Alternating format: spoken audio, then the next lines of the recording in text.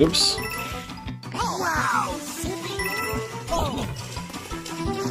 Come on, little guy. Let's do it. Run and jump.